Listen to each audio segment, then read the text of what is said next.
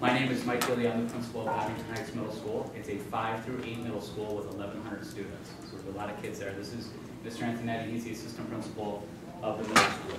And our first 10 minutes of the program is going to be dedicated to social equity. And that's really what we want to do and highlight for you for the first 10 minutes. The second half of the presentation, what we'd like to do is then mix it up a little bit, um, do some question and answer, and highlight some of the things about our school that we think are pretty special in the areas of academic excellence, developmental responsiveness, and organizational structures. And we'll try to run through some videos, some cool things that I think we take to highlight some of those examples. Um, Welcome. Uh, We have some handouts for you here. As we present, I gave you copies of the PowerPoint slides for notes and information. Some of them are hard to read, or we wanted to expand on that. So there's this big packet that has documents, and I'll refer to them throughout the presentation. That way you don't have to write down everything. It's all here, where we provide, uh, I think, documents that you find very interesting. Okay, if you take a look at this slide right here, um, you can read it for yourself. This is kind of the quote that we put together for our school. What I want you to just take a look at is, you know, a lot of schools put a lot of quotes together. Here's the meaning that we find within this slide.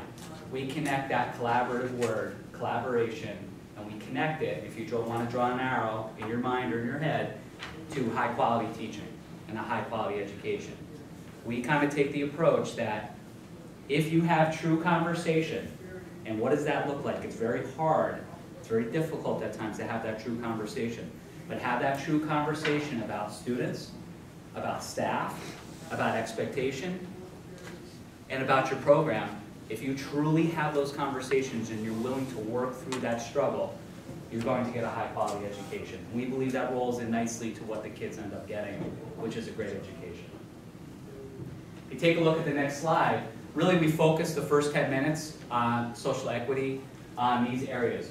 High quality teaching, resources, learning opportunities, and support. So we're going to go on to the next slide now. Just before you even read it, I just kind of want you to close your eyes for a second, and I want you to think about what high quality teaching looks like.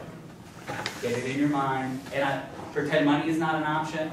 Pretend that um, everything that you know about education is not an option with high quality teaching.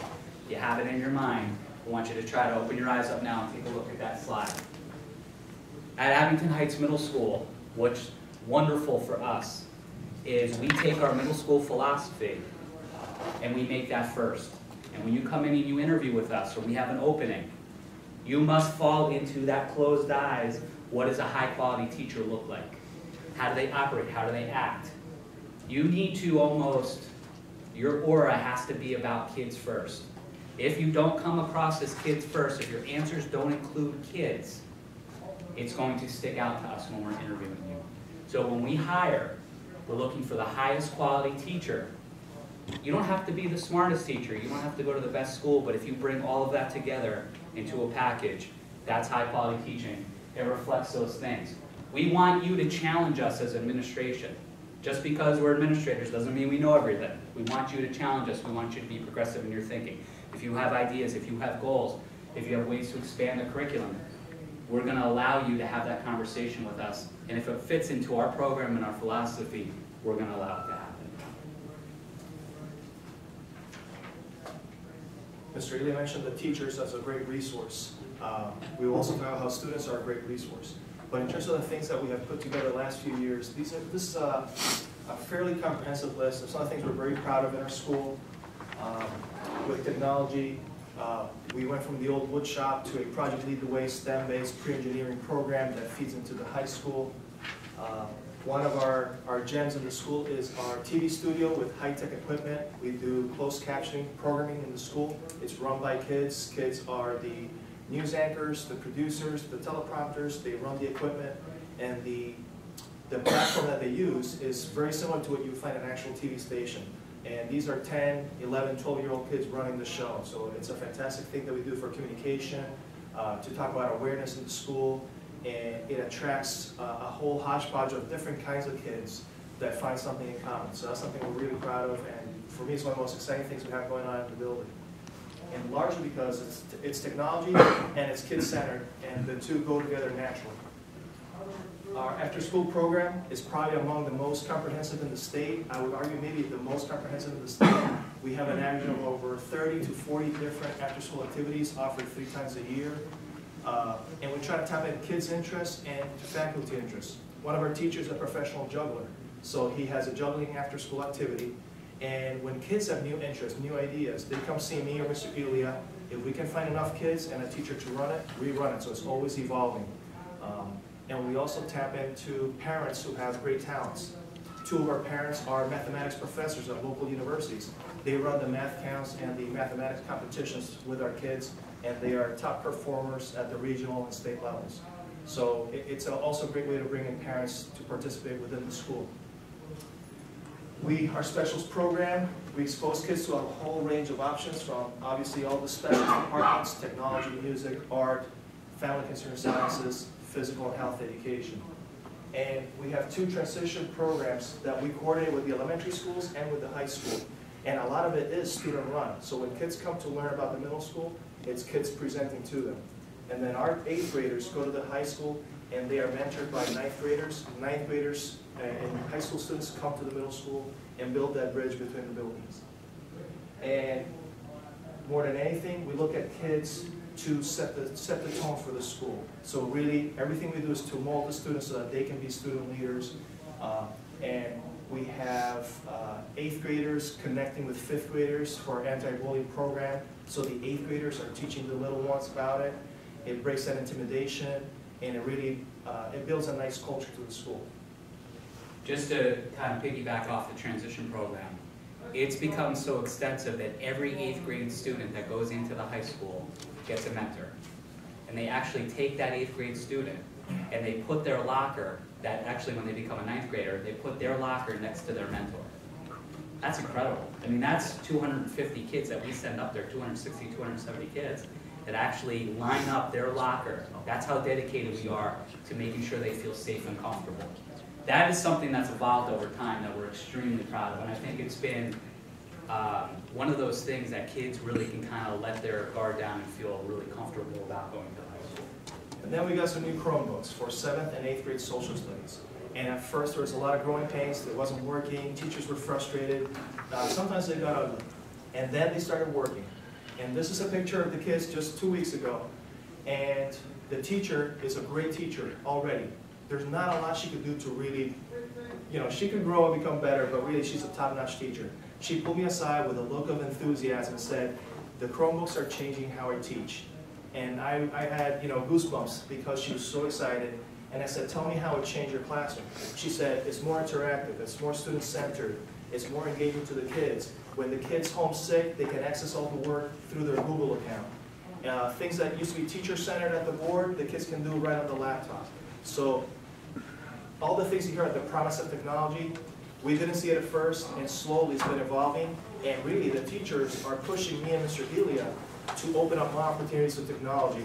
And we want to make sure that it works for them, that it's safe for kids, but really, it's, it's, uh, it's been a wonderful thing, and they are collaborating on ideas on how to use these Chromebooks in their social studies classrooms.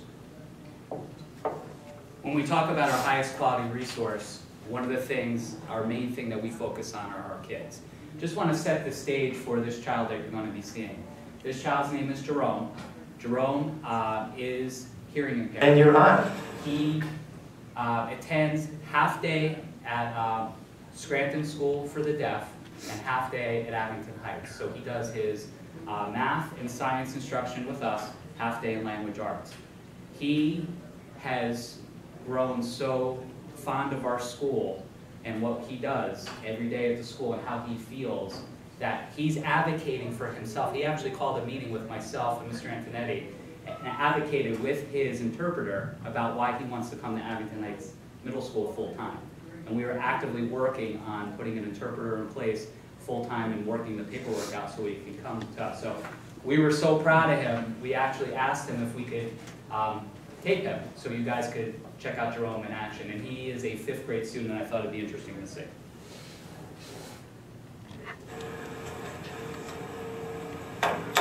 Love Abington Heights Middle School because I'm treated fairly and everyone's so nice to me. I don't have to worry about being bullied.